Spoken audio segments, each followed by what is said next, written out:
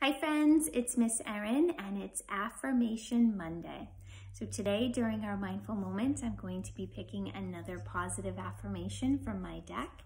Remember that a positive affirmation is something that we think and we say about ourselves that builds us up and makes us feel good.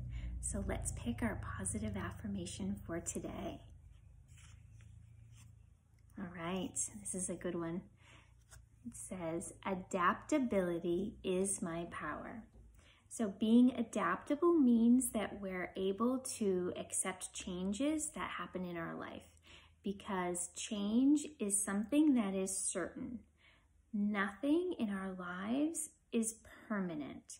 So when we know this and we can accept it and expect it, and appreciate the good things that are happening because of change, then we are being adaptable. And this is sometimes tricky for me. And I'm guessing it may be tricky for some other people too.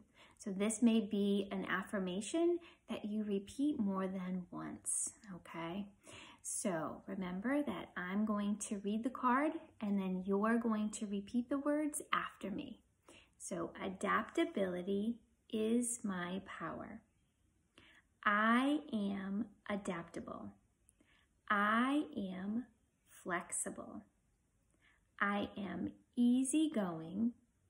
I welcome change with ease and an open mind. I am adaptable. Say that one more time. I am adaptable. So can you remember a time when you were adaptable and how did that feel? So bye friends.